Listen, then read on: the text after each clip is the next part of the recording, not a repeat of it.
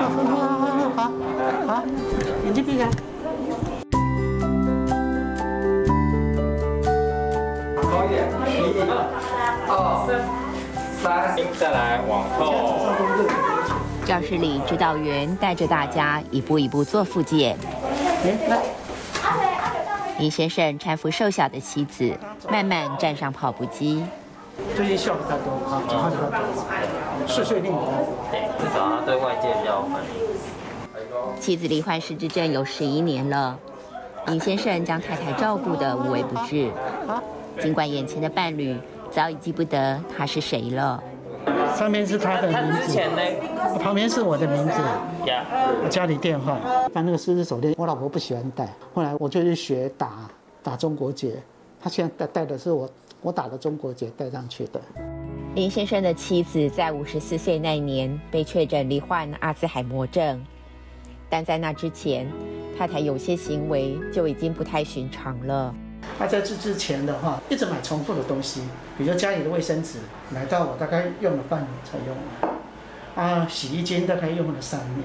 因为那时候我有朋友在荣总介绍我去看那医生，马上就看，然后这个检查全球花了四个月。二零一一年，林先生的妻子被确诊罹患阿兹海默症。阿兹海默症是一种脑部认知功能不可逆的退化性疾病。病人的心智会随着时间像燃烧殆尽的蜡烛，日渐暗淡。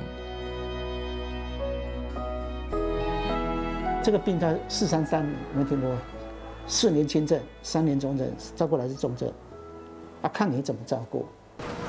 林先生把太太照顾得非常好，然而照顾过程并不轻松。但他一想到爱与承诺，所有的疲惫都可以化为力量。跟老婆当初结婚的时候，就是你喜欢她，你爱她，你才会跟她结婚嘛。我有这个责任要负责，要陪她走完这条路。哦，我就抱着这种心情。陪伴失智亲人是一条既漫长又艰辛的道路。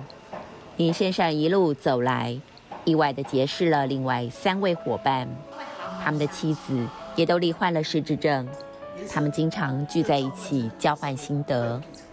当然很多呃心路旅程保证的，然后差不多因为失智症的大概每个病人的过程差不多就是这样。随着医学的进步，失智症病程的发展多半可以如期掌握。像这样的聚会，对新手照顾者殷先生来说就非常有帮助。像他们走的比较前面的，他们经验比较，我们我们刚开始的就可以吸取很多经验，真的。再大步一点哦，再大步。往前往前，不要往旁边，真的是偷懒阿姨哦。干嘛？是偷懒阿姨。你为什么不走啊？退伍军人殷先生，去年他的妻子才被确诊罹患失智症，他一度措手不及。现在全部一手包办，光顾他他个人的所有的卫生啊什么，通通了一手包办。以前什么都不用做。所以说，变化大不大？能够像这样一起喝茶聚会，可以说是照顾者的 men's talk，也是抒发心情的一个重要管道。我个人有一次，那时候我太太已经是，就是已经算中中度。有天晚上我们睡着睡着，睡着，就他就帮我盖盖被子，就他以前都是他帮我弄，从他生病大概很久都没有。他可能结果那一次突然有这种动作，我觉得非常的震惊。国际失智症协会预估，到二零五零年，全球失智症人口将成长到一亿五千两百万人。当我们挚爱的亲人正在朝向生命的某个终点时，即便他们失去了表达的能力，但或许在他们的心里，都还期盼着能够拥有像林先生对太太这样温柔的牵手关怀。